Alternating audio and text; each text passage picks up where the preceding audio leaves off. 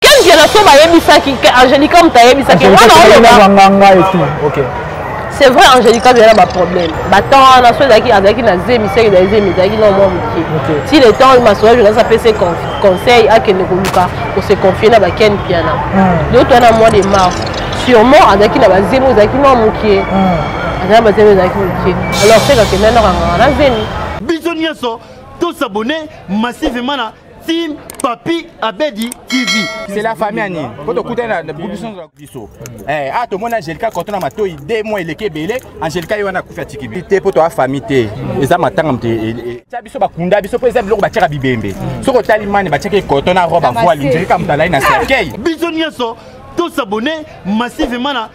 Team Papi Abedi TV. Ntango yo ozwi moto aza na bomo ozotia ye bacoton ozopredire liwa na ye po toyebi ke batia bacoton na moto akufi mm. wana toki nango na justice osamba eza bapreuve eza tangible pourquoi tu as fait ça biso nyonso tosabone massivement na team papi abedi tv na angelica dernier live oyo oh, asalaki ezalaki juste eh, nakoloba deux jours avant sa mort okay.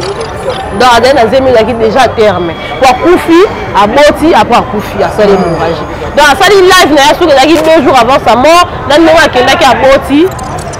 aboti epuis akufi biso nyonso tosabone massivement na team papi abedi tv epuis bato baoloba ye moto azalaka na mbongo hôpital yango ayaki nde obotela awa wana baotyola mowe ah. ok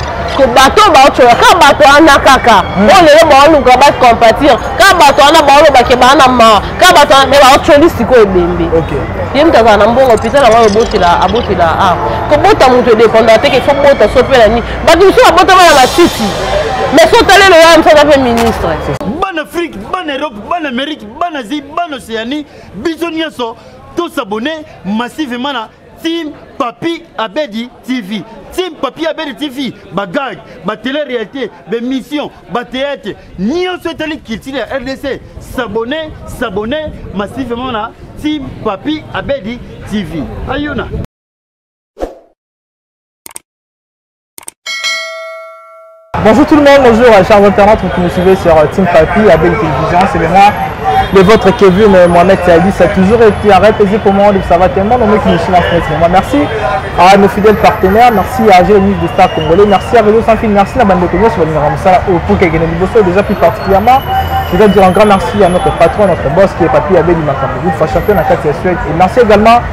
Ah, mon sponsor VK Vodi Kabui kuna kati ya balona na bilobi soirée sepela selekaki na ndenge ya moke te samedi bandeko bafestoye ndeti ya liboma emama mapasa kenda toujours carton toujours basoirée ya kitoko eza par rapport ya ndenge masolo ebetamaka plus tofandi ya parce que moko ya biso atikaki biso depuis le 23 mars dernier oyo atikaki biso na mpasi ya kobota angelica madeleine madame oyo atikaki biso depuis mikolo elekaki nano nalobaki nazali moko ya bandeko asalaka mpe mosala mpo totomeka kosola nango parce que biso tokoki kozala mpe na mwa kisongisongi na biso na mwa limite ekoki kozala bandeko basi nde bikomaka mpe na niveau ya kokundola oyo ezalaka na kati wana je crois je suis là avec normie eyaba bonjour normie eyaba Bonjour Keva, euh, bonjour na bande connaisse tout balandaka team papier à de télévision, nayebi que ezalaka toujours esengo ntango nayaka na liboso na bino mpona koloba oyo eza important mpe nayebi ke bosepela na présence na ngai na chaîne na biso j'ai dit euh, un grand merci na boss na biso papier abedi makambo mpo na confiance oyo apesaka biso na bino tosala mosala oyo parce que soki nayaka toujours de temps à autre parce que ye apesa permission ni tete sa permission eglise a peut-être te ke naleka a de temps à autre voilà pour Quoi? Euh, je lui suis infiniment reconnaissant et puis euh, reconnaissant reconnaissante na bato nyonso to balanda biso voilà boni santé nango mpe baactivité ezokende voilà santé eza nango bien baactivité mpe ezokende nango malai malembe avec l'appui de dieu donc euh, tout va bien toza kaka koespérer ke babonne chose eza toujours à venir voilà je crois tokufeli lelo bandeko balandaka biso bien ke nano bakonate bacondoléance na bango na biso te mais quand même mhm. biso na biso tokomi so tofandi omonaka nomi eyaba mais sincère condoléance merci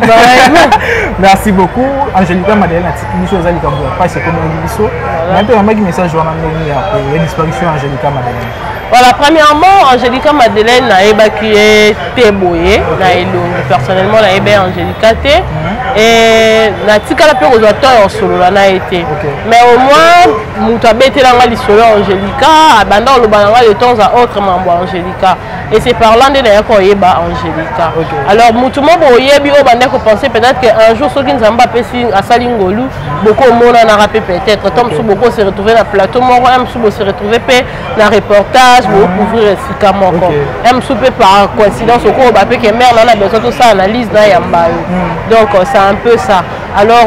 ntango euh, nayaki sikoyo koyoka nouvelle na ye nabi ah biso mpe na pensaki qu'un jour nakomona lelo akufi atiki biso esalaki nga nao mpasi mm. esalaki nga mpasi par rapport ya bamakambo nyonso na ndo okanisa et deuxièmement esali mpasi pourquoi parce que aza motu ya corporation na biso akufi atiki biso e liwa moko boye na circonstance ya obota mm. or oh, moto akoki jamais kokufa ntango opesa vie parce que kobota nzambe moto asala yango ke bato ifo base multiplier ko se multiplier na mokili ezali kaka na façon moko oyo eza kobota hmm. alors moto akei mpo akende kodonner naissance et puis elle a succombe akwei akufi donc euh, epesa ye vraiment mpasi makasi koleka ntango nayokaki liwa inopine wana obengo inopine parce que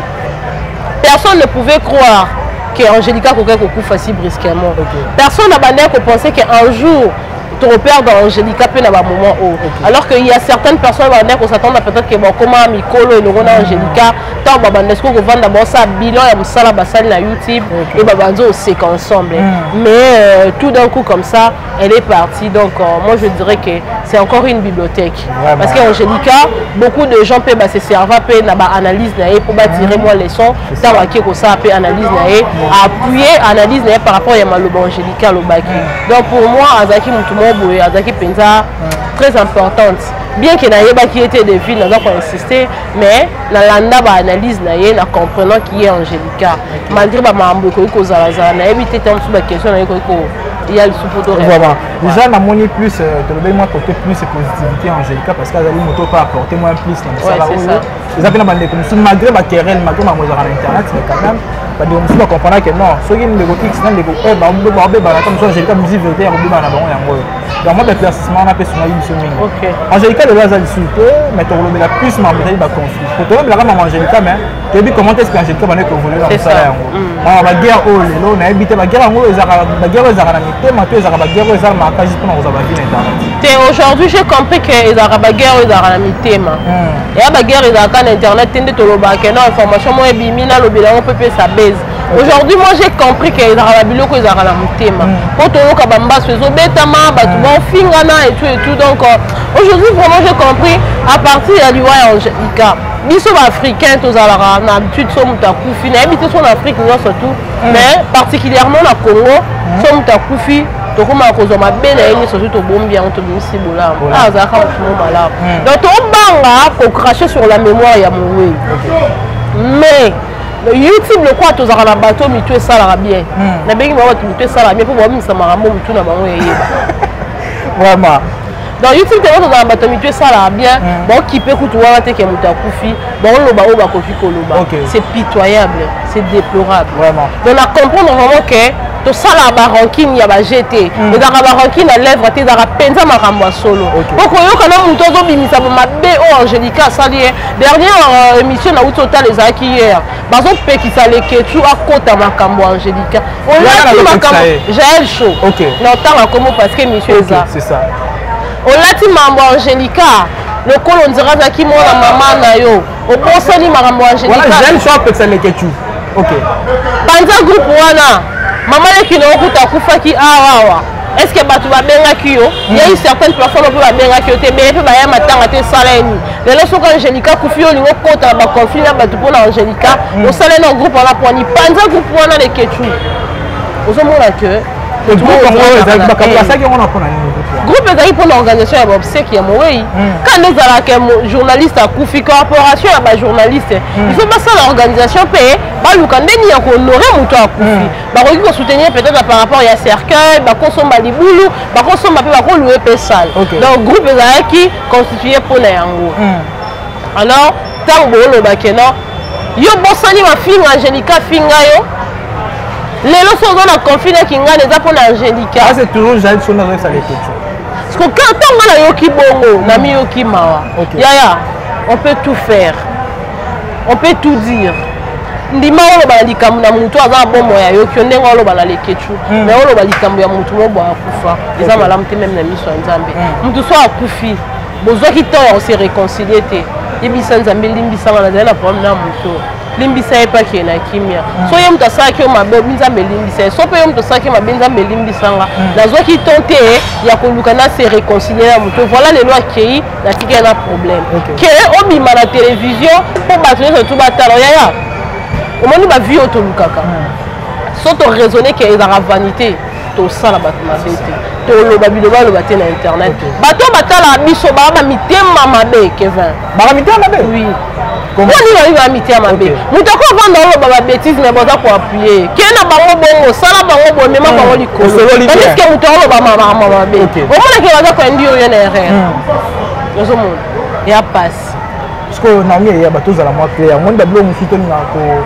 komisaka bandoki te na makambo nyonso mambo oyo sepasela mama angelica oyo donc epa tokopesa mpe sara to la raison parce que soki azobenga ntango mosusu bandeko basali association wana mpona kosengi ntango mosusu matanga ya moninga to mpe komema moninga bisika ntango mosusu okozala ndako na ya suka mm. azobenga bango baessence bahypocrite bon nayebi te ntango mosusu en d'autres termes tokolobaka aza na raison aza na raison ok moni sara aza na mabe ok aza mabe aza na mabe na ye surtout mabe na ye eza juste par le fait que azalaka trop claire ntango oloba atouchaka meme na baparti oyo moto ako oyoka mpasi ozo comprendre hmm. mais d'autre part makambo sara oloba aa na raison ce sont le bande des hypocrites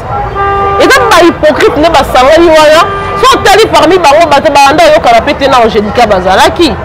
okay. mais sikoyo balanda koyokana te basali lokonzela bacompatir mais baocompatir na ndenge nini entre bango balanda oswana koswana bavoise bimakoto banini bimakoto est ce que il faut balela mowei bongo baa ba hypocrite sara tola alobi ke yango mama ozala na ngai hypocrite te eh, nakoposte na ngai te soki eh. contribution na kotia hmm. pourquoi parce que azogarde biloko moko ya mabe kati na ye oyo angelique asala ye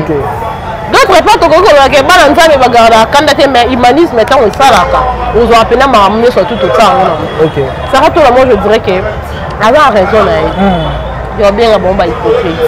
ana raison po ebele bango lela angelica bozela mpe matanga bafingana awa baloba na n'importe quoi batikala bakerel na motema jael sho au moins azoya kobimisa bamaloba opo azoloba wana na écran azosalela kimotu na ye ndenge ezaleli mais euh, d'autre part bato mosusu bana bango na raison loba bango loba bahypocrite baza ebele parce que ngai esala nga mpasi tosala eloko yango na ndenge ya kimia ah. toyokana tozala biso na to meme moral eza kaka bato balingi nga alakisa grade na ye oyo aza nango ase impose na place ya bato hmm. eza bahypocrite apres na nsima yango abanda obeta lisolo eh, kutu telaki tezalaki boye ezalaki boye mour alobi apres dei tozongeli rado bahypocrite nayebi te rando so ezalaka na femine to na maskeselangando na oteni oyo rigueur te parce que article ya koedependa na moto wana koemploye yango hmm. donc baza bahypocrite hmm. baza bahypocrite parce que kotala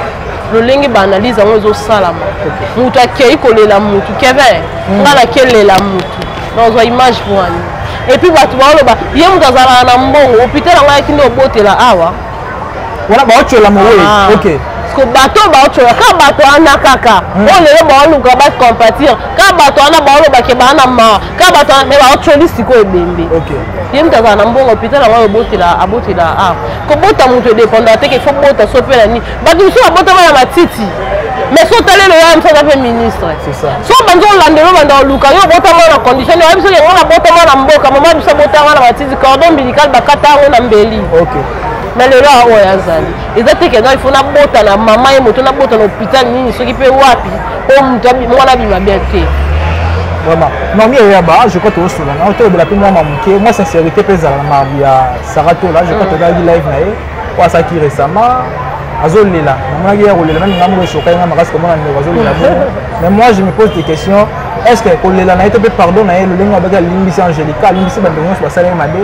est ce que ezalaki mpenza ya sincérité to ezalaki eloko moko kaka mpo na komaske kaka bato so ezalaki ya sincérité alinga azongola so émission te mpo afinga ok alingaka azongela te so ezalaki mpenzaki apardonnaki vraiment avec son cœur alingaka azonga te mpo asala balive au moins il fallaka garder silence na ye lokola kevin jésus christ de nazareth combien de personnes bahumiliaka ye est ce que otikaka omona jésus christ aya réplique aréplika te pourquoi parce que azalaki ayebaki eloko nini aosala ah. il se voyait déjà supérieur à tout le monde là souci na ye ezalaki aganye bato bazalaki pembeni wana ah. et puis il s'est tu jusqu'à ce kakendaki kokufa ti asekwaki donc jésus christ alekisa vi na ye boye ah. yo ye osengi olobi kena nalimbisi ye alozongi oyo esuki oclashe ofingi olingi nabimisa ya bino mambo angelica asalanga hmm. baémission oyo nasala yango nabombi mpe makonaka émission olelaa na alobi yango bien nga nalandaki yango lobi hmm. toza koinvente te balie eza en chaîne na ye abi bino okasi mai miso ane bimeka na pete mai miso ane bimea na pete te parce que bapasteur bazalaki wana baforsaki ngai tv bomo ezalaki longo ya pression alobi yango tu o hmm. alobi yango tu o mais na moi à sa place ndenge nasala ni émission ya osenga bolimbisi to nalimbisa ye ni émission ya oclashe na ndenge nasetere po azwaka quand même raison na ye hmm. moni bato bakoki koakize ye ndoki boye na boye ceci cela hmm. mais so alakisi kaka bato wana image moko boye ya otalisa bango ke makambo nde ozobooloba wana je suis pas dedans donc naokipe bino te bato zuwa atiki bango bongo abimi supérieur abimi na force mais ntango oye obandi suko eh, osengeli moto yango bolimbisi mpo olobi olimbisi ye mpo osengi bolimbisi na bato nyonso to yo shoka pourke à la suite oyo ya suki osala émission ya clash mm. kevin wana eza eloko ezalaki sincère te franchement na regrettaki moninga to natalaki émission na ye wana asengi bolimbisi nasepeli na yango abi ah voilà moto ayebi nzambe voilà nga na koprécise mpena te moto atyaki miniatire ya bandeko mais eza na baminiature moko batindeli tindeli ngai namoni mura na bacoton namoni manike na bacoton et même moweyo atiki biso lelo na bacoton je me pose des questions pourquoi tokoma tina na niveau ya kotyaka bandeko baminiature ça c'est prédire la mort de quelqu'un hmm. omoni biso na kati ya youtube oyo nayebi biso kevin kindoki eza hmm. ya bajete kindoki ezali ozela kaka yo otya pa soki ayo tika impa ye aya alandisi depa mpo akokisa makambo oyo yo wana yango besoin hmm. peut-être ke obandaki koloba ngo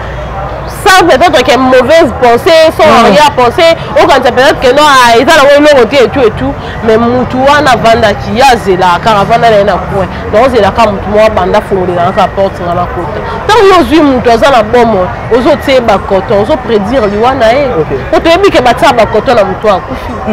mutu mm. abomo otie na coton obima tofina na zolo batia bakoto mingi mingi na matoi so moto aobima batofina excuse na zolo so moto ana sinizite makili ebima topangusaka na papie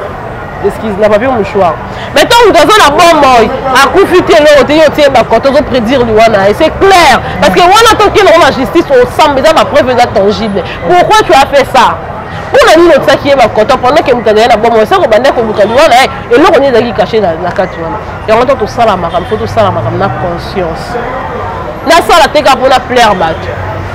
nasala te mpo bato basepela na nga hmm. nasala te mpo nakotisa bavue hmm. yango wana naoloba bato balanda biso na internet bamitiya mabe ya mitiya malamu baa moke bango balinga bato babebana tala kaka so ozwi kaka émission moko eza kaka eza éducative ozotalisa bato peut-être lolenge o vivre ozwa ba mois de vue mais yaka kaka finga hmm. omona mpenza ke oke na ye bien osololi bien mema bango likolo baprive na bakode ekoya ta degré hmm. ta degré donc bango balinga tofinga bango balinga tosamba ma mabe or ce n'est pas bien hmm. omoni no balobaka jésus christ revient bientôt ebele bobaka ah, jésus yango mpe akoya akoya na ye te hmm. banda tobanda oloba bana biso kutu babotami mai oyebi te nzambe nde asalama mai comme si ozela omona jésus christ akita mokufi na masumu na otango okufi na masumu oke wapi ozwi temps ya kose repentir te ntango mosusu mpo na yo fin du monde na yo yango wana mai bozela jésus lokola baba jésus christ revin bientôt oza na mposa bapesa yo date bapesa yo précision ya date jour nini akoya na heure mpo yo oluka ose préparer non jésus christ viendra comme un voleur donc yo nde faut luka na temps oyo oza ose repentir oluka nde nini obongisa etamboli na ngai mais tant tobongisa etamboli na biso te aussi longtemps tobanda odemere kaka na basituation oyo oh, omonake bato beye banda okufa loka bantaba olala kola moto okufa hmm. ozalaki kaka na mamongo banda osala po okufi oke moto mosusu toyokaka azalaki azalaki nde mpe kosolola mpe bien na bato abia nakoti na na dushe nasokola mpo na okekeke mpa ndakota na dushe abima asuti abima baotombola ebembe donc ese efo mutu asala nini apolisa etamboli na ye tosala mamu na sentiment te ka parce que il faut batala ngai il faut na pleure bato il faut nasala boye epuis nga ntango bato bafingaka bato balobi e eh, ozalaka sage nalingaka mpo na sagesse oza mayele hmm. osekisaka nga osala boye moto aofinga nde bobengi ya sage kofinga batiela yango sagesse bakofinga babatisa sagesse moto afinga motu oyebisa hmm. aza sage moto oloba n'importe quoi molobi aza sage se le sagesse ebeba bango salomo tolukela bango nkombo mosusuasali matisage ya kofinga pise sagesse te moto ntango afinga asage te moto ntango afinga moto asage te moto aza hmm. sage akoloba moto makambo ezochoke ambalango alatisi yango mpenza elamba voila yango nyama ofinga akolobaka moto makambo ezochoke mai ntango yo ofinga ebembe na bino sagesse na yo eza wapi banani oyo baboma etu etu sagesse na yo eza wapi yo ofinga moto babengi yo sage bato balanda biso baza mitema mabe bolimbisa ngai en tout cas bainternet na biso nayebi ke bino bato bolanda biso mais nga mosenga na bino so mpena omoi mpenake tolobi eloko moko mpena eza na nzela te orecadre nga mpenake te eloko olobi eza na nzela te ntango olobi eloko moko ezokende mopanzi ofingi oyebisinake te na mafinga boye ogani eloko toza mwana nzambe omonake moto azonga jida mai ntango moto afingi yo oyebisi ye asali bien moto alobi mabe yo otomboli ye wana ozotia na erreur wana eza sagesse te nga kutu bambo ekoma opesanga kanda vraiment na oye eyeba est-il vrai que angelica kenda ndako na twana bapreuve te na nga na yo mai toyoka lisolo eh, boyoka yango nga naloba moto so akufi to oyena kokanga bato ndoki te parce que kevin oyo eza na sa moyo oyo tokutani nao awa mais ti okutaki ndako na bino koma nazalaki nayo te nazalaki nayo te makambo oyo osali soki outi okushe na mwasi nayebi te ozo comprendre donc yeyebi eyebi kaka yo moko wana tokutani awa après awa ah, tokabwana moto na moto azwa nzela na ye donc il faut toyebaka ntango moto akufi il faut kosala baanalyse oyeba etamboli na ye ezalaki ndenge nini akotoyaka banani famille na ye ezalaki ndenge nini environnement na ye ezalaki ndenge nini hmm. ah, par après oya sikoyo kotala ah, par rapport ya ndenge nasali baanalyse namoni onzela kozala na mabe te peut-être liwa na ye koza ewuti quelque part te mais ntango déjà moto akufi temoto azali proche na ye makasi wana eza te ken piana aconfirme oui aya nde kaka na bapreuve tangible hmm. po ken piana so bayebisaki angelica moto ayebisaki wana olobanganga etu c'est vrai angelica azali na baproblème hmm. ya motu oyo abandaki koluka kosala ye Euh, soki chantage tobenga yango na chaîne na chaîne na ye moto abandi akogera yango abandi akolia ye bambongo hmm. mais ntango ayo kodécouvrir ke moto abandi akolia ye bambongo na chaîne mbongo ezokendaka kaka boye hmm. eye aya koluka moye atalisa ntango atalisaki ayebisaki ke eza moto mingani hmm. moto asa atalisaki selon ndenge bato balobaki selon ken piana selon ken piana alors Tangu akomi koluka a securiser chaîne, alongoli chaîne na maboko ya mutu wana pesa nga administrateur ya mutu mususu. Mutu oyo apesaki eh, ouais, mutu oyo apesaki administration ayebisi ye alobi lokola mutu wana aza na mbongo na yo ebele. Hmm. Na place peut-être o geraka ye ye moko. Akoki pe koluka boma yo. Betela quelques personnes ya entourage na yo pour lui permettre aux quand même là-bas témoin ou aux pembeni pour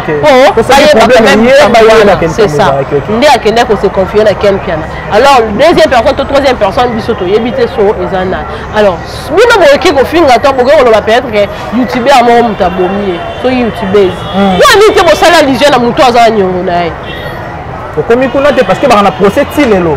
baza na procès bonso kosalaki na procès ke akufa procès sila ok po moto atia mpenza na mosuku makasi na mambo wana ezalika ye mo mokolo bibi hmm. to mosusu asosie membre famille na ye te loyabi kaso akufi akei akei dossier ekatani on suppose mais ngai nalingaka te so moto akufi na attribue motu moko beliwa na ye hmm. nalingaka yango te nzambe moto asimba vi ya motu mpo ata satan na ndenge aza wana aa na droit ya koote vi ya motu te so nzambe apesi permission te na moto asimba vi ya moto yaka nzambe mpo moto apesa eh, bamindele baosala bapopi omona damour apopi otambola napema opema so batie bapile te mpe bapile wana ekufa pour dire que non ana mayele eza limité moto apesaka souffle de vie eza nzambe mpe kaka ye moto ana possibilité ya koote vie ya moto donc totikaka so moto akufi to attribue liwa na ye pa moto angelica kende ndaka nganga kende ndaka nganga te biso tokoya na baconfirmation te parce que ndi tosala émission bafamille na ye baolanda baolukaka bayoka eloko nini ekobima place wana mpo mm. naluka nakanga motu wana ekomake mm. yebisa biso mm. ezalaki ya solo ba preuve ezali ok vraiment mais si soki tobi tokende mwa mosika mpe tokoki koevoke mpe makambo ya santé parce que azalaki mpe moto ata mosusu médecin déjà yebisaki clairement te okoki kozwa suzemi to kokoma masumu okumba te peut être pas mpo ndeye moko mpa milengelaki te na ndenge ya santé la négligence parce que so négligence eleki yango esalaka bato peut-être bakwela bamwa mosusu mwasi azemi ya moto e azalaka vulnérable mwasi azemaka faible devant toute chose mwasi azemi azalaka faible donc mwasi so aza azemi na famille na ye baconsideraka ye lokola moto ya maladi omwa moto mosusu aza azemi deux mois trois mois ka docteur ayebisi ekosala so eloko te pourquoi parce que il faut babatela mwana aza na libumu mpe babatela na vie na ye moko moto ya ozo comprendre azali na zemi paraît-il que bande kokende hôpital te anomela bacastel bacastel wana selon nde bato baoloba na soki eza mpenza ezalaki bongo asaki erreur tokoki koloba mpe kozalaki mpe l'une des raisons ya dese na ye okay. mosi azemi ifo melaka bakisi mosi azemi ifo kenda kilo prénatal mpo mm. epermettre ke ata ntango okoki kobota complication ezala te so otali na bopital ebele mwa mosusu omona akeki akebota babanzi na kotuna ye olandaka kilo wapi mpo bayeba estce bisika olandeli ya kilo réellement bandaki kokende wapi karte ya kilo na yo mm. batalaka par rapport ya badate mpo bakarte nde ezali lokola bakarte obwakelaka bakakobazwelaotobakela mbongo bakakobazwela mapa a chaque fois ozoya yalokola registre na pente baopointe baopointe ntango amonaka te yaye eza mpena pointe nde baoconfirme me moto ando okekile otie mpona abota ekomaka complication mpe bataxaka bango cher mpo ani baotala ke en cas de ya problème il faut to intervenir baoya koluka biso hmm. alors il faut bafuta cher et puis toyeba ke toyeba ndenge nini tokoki kose justifie c'est ça mwasi azemi jamais okoki koluka badormela bacastel mwasi azemi alobaaloba pa pamba te mm. mais angelica dernier live oyo asalaki ezalaki juste nakoloba deux jours avant sa mort donc azali na zemi ezalaki déjà terme po akufi aboti apres akufi asali mm. hémorragie donc asali live na ye soki ezalaki deux jours avant sa mort na ndenge akendaki aboti aboti epuis akufi Et contenu ya live yango ezalaka nani? Abanda ah, loba mambo peni na Mike. Ya libota ya bato. Ya libota ya bato. Hmm. Donc pendant tout ce temps là, Angelica azali na zemi, manda ofinga. Pendant tout ce temps là, Angelica azalaki na zemi, azalaki na barando na bato. Ozo imaginer grandeur. Ah. Oh, moto ana zemi. a moto oyo ifa ozala mpenza nakomi kebisa bato mpo bakoki oyeba te koya na nzela mais c'était pas le cas avec elle totika koattribue ke o ngani moto abomi ye te babanda na otala nanu ezaleli na ye ndenge atambolaki azali kaka na rando na sara tola te sara tola alobi bia bingai à chaque façon navai na émission batuni ngai question ya angelica na nda aloba botuna yanga question na ye te mpo nalingaka ye te donc abanda kolingaka kota na terrain na ye te azalaki na barando na bato banda ofingana Alors pourquoi ce mutu akufi bo banda banda au sacrifice ko crucifier mutu soit disant que non ye mutu ko boma ye mutu ko sala bo nga amoni totala bien bisika liwa na ye euti soit eza naturel soit bango na ye mutu akufi na nzambe kaka likolo nde bayebi origine ya liwa na ye mais donc tozo confirme te mais makambo ya zemi soki toya probabilité ezali soki tocalcule entre zemi na ndenge azalaki nango na ndenge akufi lelo est ce que ntango akendaka ndako ya nganga par rapport bafirmation ya bandeko bazoloba wana ezali kena akendaka ndako ya nganga ntango azalaka na zemi to akendaka ndako ya nganga ntango zemi ezalaka te par rapport ya badate nga na me référé kaka na date oyo masoya jonas alobaki ke hmm. bakutanaki na angelica bakutani na angelica na mi 2021 donc na hmm. katikati ya 2021 aye kodécouvrir aye koconfie masolo ya jonas chaîne na ye le 19 octobre 2021 batemp wana so ezalaki azalaki na zemi seke ezali zemi ezalaki na mwa moke ti le temps masolo journaliste apesi conseil akende koluka kose confie na baken piana hmm. donc wana mois de mars sûrement azalaki na bazemi oyo ezalaki mwa moke hmm. azalaki bazemi ezalaki moke alors seke akenda ndako anganga na zemi akenda ndako anganga na zemi nga kutu motu na ya mobimba bondaka nganga na okende te soki yo okendaka nganga mibale eza mposani moko ifo atikala na batalika moto ifo atikala nani owa moke osala biso mbongo te tozwa ya makolo naomi eyaba je crois tokoma presque na suka mama olobaka tokomizwa na suka me na nyonso oyo eleki na masolo nyonso ozobetama tokoloba te mpena basongisongi te asongisongi te abangaki omoni kei mpena elo esalaki ye ezali mpe kobanga e eh, takuta angelica alobaka na ngai boye estce eza yango te hmm. abangaki atali mpe abi te batika koincrimine mutu sûrement ekozala banzela na ye atambolaki moto ebomaki ye hmm. yango akendaki koseconfie na jael show donc tokota obenga ken pianga songisongi par rapport ana hmm. azalaki songisongi mpo mowei alobeti na ye ka lisolo bayebisaki ye mpo bato mpo bacomprendre mpe vérité eza nini hmm. soki eza vraiment ya solo kakendaki ndako ya nganga boko incrimine motu mpo na nini kabomi ye botali te kakote ndako ya nganga onganga nde aza wana aza na eloko oyo apesa motu te ke oyo ya invente te diable aza imitateur azwaka benediction oyo faozwa na 2022 na 2023 par exemple apesa yango na 2021 mpo na 2022 okoma te okufa soit na 2022 ozonga su pauvre ozo comprendre eh, nganga apesaka te sanki azwa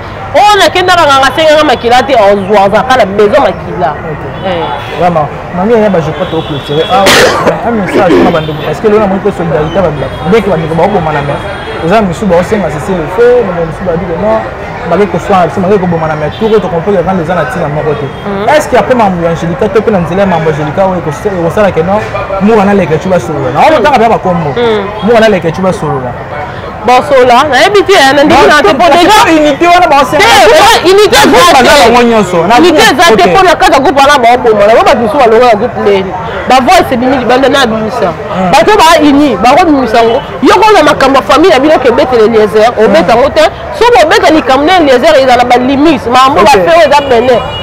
Benjamin ozwa makambo ya famille na bino mpe papa na bino atikela bino mbongo wenze te na ndako oyo babetele maison kobeta yango te makambo ya famille batika yango na famille okoki kobeta yango te solidarité eza te eza hmm. mascarade baosala elo esangisi bango mpoka bata oyo amonake yango atie 100 dollar oyo amonake na tie 50 dollar donc baoya sikoyo na kigrodo na kati ya groupe hmm. solidarité eza wana te donc moto mosusu olukaka aprofite na nsima wana mpo abimisa rando na ye esala lokwaki akoteleka angelica mais or akoteleka angelica te aye koregle compte na moto oyo bazalaka na ye na rando moko alobaki après matanga rando ezongi ebongo limité eza place limité eza te voilà je crois que continue un message mpona bandeko balandi biso et surtout bandeko mpe baocomprendre ntango mosusu vraiment ebimisi makambo oyo eza malamu epuis bameka ntango mosusu kolanda biso nayebi te soki bakolanda to bakolanda te bon euh, message eza kaka moko na bandeko nyonso balandaka biso il faut tozalaka prudent na vie ntango otambola azalaka na prudence lokola nyoka nyoka ezalaka mpasi mpo boma ye parce que azalaka toujours prudent ye asantaka ata elili ya mutu ntango ezoya kuna ye osentir donc fo tozalaka prudent et en plus ngai eloko na kosenga bato bilobaloba na vie ezalaka malamu te hmm. zala biliele me bilobaloba te monoko ebetisa masoko fulu kaka lolemo oyo yango nde ekabola bato et voilà pourquoi so moto akufi eloko epolaka liboso ozalaka monoko pourquoi parce que monoko oyo elobaka mingi esunga et deuxièmement kovivre na kati ya conflit na bato eya na litomba te lelo angélika akufi ebembe na ye bato mosusu bakomi okrache na mémoire na ye ebele baobimisa barankino bazali nango kala bakomi kokotisama ebele bakomi su na kati ya conflit na liwa angélika pourquoi parce que azalaki conflictuel azali na baconflit na bato asalaki bato mabe alors azwaki ntango ya kosenga bolimbisi te voilà akei na bafardo oyo ya bato azalaki nango yango wana eza important kosalaka mutu ntango oyebi ke osali mabe oyebi ke na blessaki mutu zwa to ya ozonga nsima oyebi ndeko na ngai limbisanga to a famille okay. nasalaki eloko peut-être esui ignorance alors nasengi olimbisanga eza très important bato nyonso tu balandi biso bakroni mama bakroni papa bakroni jeune tozala na conscience mm. mosala mm. youtube ezaka te fona vana finga biso tovandi awa tofingi te mission esali soki combien de minutes te nga na comprendre te moto oko ovanda ndeni osali mpena 45 minutes 1 heure du temps émission kaka mpo ofingaka e eh, bwa bato ofinga bino bokonza lola eza ya bino vraiment asko bandeko mpe basakati oyo bazolaka moko awa matanga ekobima bango bakozala te bayebi te aya na litomba te ye mpe afinga bato aversa bato ntango ozwi dango moto otie bakoto na zolo eza nini abia kokanisa bato foko foko oloba foko bia kola ba preuve katiaki ba konta na zolo na preuve eza ba preuve eza biso nde foto ba te na chaîne eza te mais bato basala ba capture ba na ba preuve ba preuve eza ba preuve eza merci na bino yaki bolanda yango na sepeli ya kozala na bino bocomprendre kaka mwa sante ya moko eperturbaka donc euh, voilà voilà toclotire na biso awa je pense ici déjà yo olingaka nopesa numéro te nayebi ke numéro bakontakela yanga moko déjà je vous dis un grand merci merci à tous ceux qui ont suivi début à la fin on était là ensemble avec Normie et Yaba bien que moi batou moi kosu kosu donc euh, moi santé mais quand même elle a, elle a, elle a fait de son mieux pour kame kopesa biso oyo ezalaki lokola maloba ekouta na ngambo na ye je vous dis un grand merci et merci également à papi abedi makambo mingi fa champion na kati ya suède merci